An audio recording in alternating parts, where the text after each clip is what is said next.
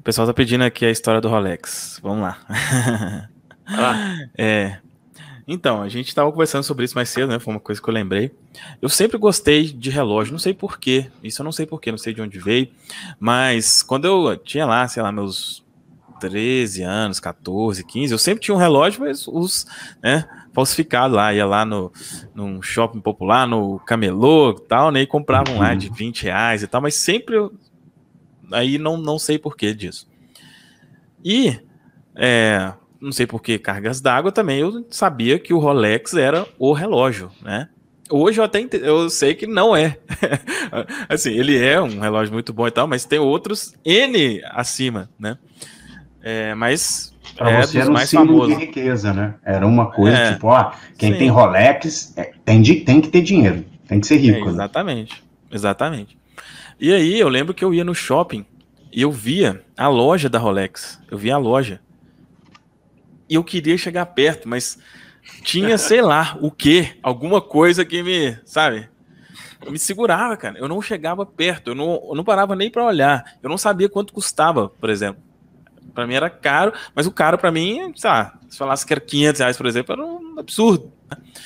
É, eu não chegava perto, mas eu ficava naquela e tal.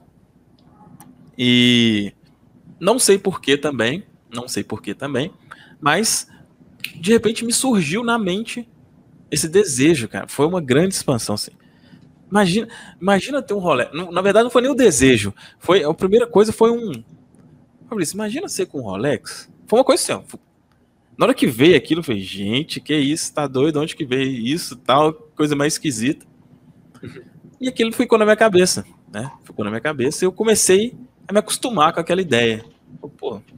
E aí, como, quando eu vi que foi uma ideia assim, só que eu tava meio resistente ainda, né? Minha mente estava resistente, eu fui fiz uma reprogramação para mim, é, porque eu, eu ali já tinha o desejo, só que eu não, não acreditava ser possível. Né?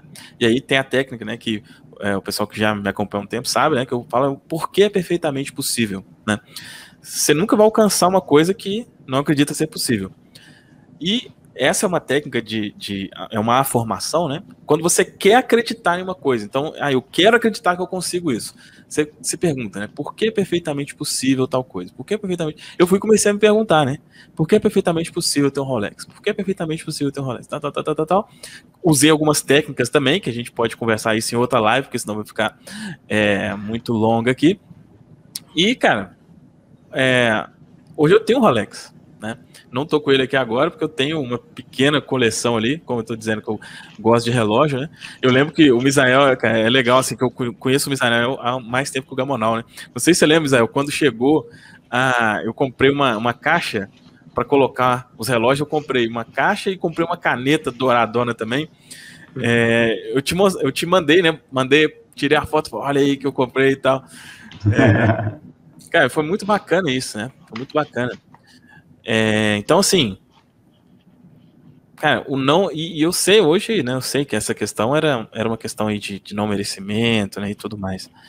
É, e outras coisas, né? Porque depois que eu descobri quanto custava, né, eu já ficava assim, não, mas que isso? O cara vai ter um relógio desse aí, eles vão roubar, né? Vão fazer isso, aquilo, vai, né? É, e eu, cara, hoje eu acho uma coisa extremamente normal, né? Extremamente normal. E serviu para mim muito bem, não, né? Cara, ninguém usa relógio para olhar a hora, né? Não é para olhar a hora, né? Não tem nada a ver. Mas na questão do, do é possível e na questão do meu, vamos dizer assim, do meu valor, né? Do eu me sentir valorizado, cara, uhum. foi uma coisa assim, ó, sabe? Então, por exemplo, hoje eu falo, né? Ah, cara, ó, você quer fazer isso daqui comigo? É, vai custar 10 mil reais, tá? Vai ter dois encontros por mês, tá? Cara, com a maior naturalidade, uma coisa que antigamente não falaria nem em mil, né? Então, isso, essa questão me ajudou muito, né? Isso é a questão da ancoragem, né? Tipo assim, ó, pô, isso ancorou minha mente, isso levou minha mente lá para cima. Então, é uma coisa que eu recomendo, lógico, cada um dentro do que é possível, né? Mas, cara, fazer coisas, adquirir coisas que estão fora, sabe, aquela coisa que você achava. Então, por exemplo, né? Vamos dizer que tem um restaurante na sua cidade que você fala, não, aquele restaurante ali é só dos bacanas. Vai lá, cara. Vai lá. depois que você for, não é mais só dos bacana. Ou é, e você tava. Né? Você falou, opa, uhum. isso aqui, né? Eu até compartilho isso também, que foi uma coisa que eu fiz. É, tem uma, uma cafeteria, não, já não vou lá há algum tempo, que ficou fechado aí com as, essas questões que aconteceram. Mas, cara, foi o, o local que eu usava para sentir próspero. Né? Eu lembro até hoje, era R$10,40 todo dia. R$10,40. É, um chocolate quente e um pão de queijo na cafeteria.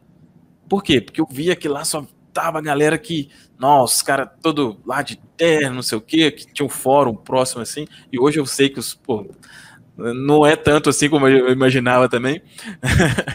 é, você pode se acostumar com. Se, é o que o Gamonal fala, né? Se acostumar com aquilo. Cara, você pode. Não precisa necessariamente de ser uma coisa. Provavelmente, dentro da sua realidade hoje, você pode fazer isso. Você pode, talvez, deixar de comprar um sabonete de dois reais e comprar um de cinco, seis, de dez, sabe? É nessas pequenas coisas aí, você já vai, a sua mente já vai expandindo, cara. Perfeito, cara. É, é, essa questão das pequenas coisas, as pessoas acham que vai dar um salto maluco, do nada vai querer coisa. Cara, é, são pequenas coisinhas. É igual a gente falou, é uma taça, é, é um, sabe, um sabonete melhor. Você fala assim, eu vou me cuidar melhor, sabe? Vou comprar coisas melhores. A Patrícia Araújo está falando assim: procurar promoções é sentimento de escassez? Depende. Você pode simplesmente procurar, por exemplo, é, porque quem tem dinheiro, gente, quem, quem tem riqueza não sai gastando caro, não. Isso é, isso é uma burrice, tá? Ficar pagando coisa cara. Óbvio que você vai procurar a melhor oportunidade pelo, pela mesma qualidade.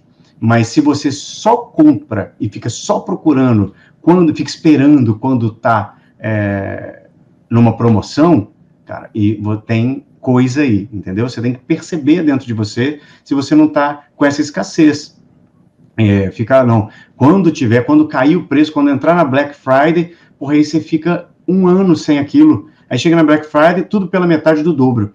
Aí você fala, pô, tá no mesmo preço. Sabe? Você fica esperando aquilo, né? É, então depende muito. Se você faz isso o tempo todo e só compra se for na promoção e fica procurando todas as promoções, ou se, obviamente, você procura na internet, você está num lugar, gostei, é, tentar dar exemplos simples aqui. É, sei lá, eu vou comprar um fogão, vou comprar um não sei o quê. Eu vou, tô na loja, vou comprar um fogão por 4 mil reais, e aí eu entro na internet na hora, pego meu celular, olho aqui, Mercado Livre, 3.200. Onde eu vou comprar? o Mercado Livre vai entregar na minha casa ali sem eu fazer nada, sabe? Não tem que comprar, não tem nada, tum, rapidinho. Então, sabe? Não quer dizer que você não vai procurar coisas mais baratas, ou seja, com desconto. Desconto é muito bom, mas sempre eu falo isso no meu livro, tá? É, dicas ali para a questão de, de, escassez, são coisas que detona. Vou, vou contar uma para vocês aqui. Quando você for comprar alguma coisa, não fique enchendo o saco do vendedor pedindo desconto, tá? Pergunte: esse é o melhor preço que você pode fazer? Porque sempre tem uma margem que a pessoa pode chegar e te dar um desconto, te dar uma promoção, fazer alguma coisa. Esse é o melhor preço que você pode fazer para mim? Ele vai falar sim ou não. Eu vou te dar um desconto. Se ele falar sim, esse é o melhor preço, você tem duas opções, cara. Ou compra, ou vai embora e compra em outro lugar. Entende? Mas não fica enchendo o saco. Não, porque você podia baixar, porque tal lugar, olha só, cara, isso dá até um nervoso, só de imaginar. Dá até uma coceira.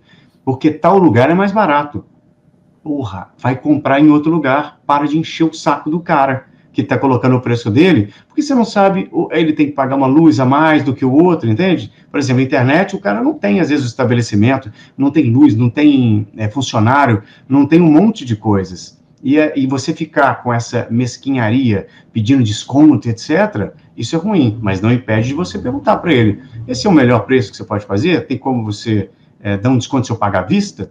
Excelente, você está na prosperidade e respeita que o outro também receba igualmente aquilo que você está recebendo. Você está recebendo um produto maravilhoso, mas também você está dando um valor justo para aquela pessoa, né? Que você que está te dando o produto. Tem que ser dar e receber, causa e efeito, equilíbrio.